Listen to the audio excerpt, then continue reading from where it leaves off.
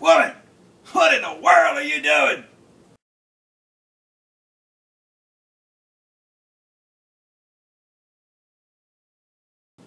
What am what I'm doing over here? can a woman just sit down and drink a glass of delicious water provided by the city?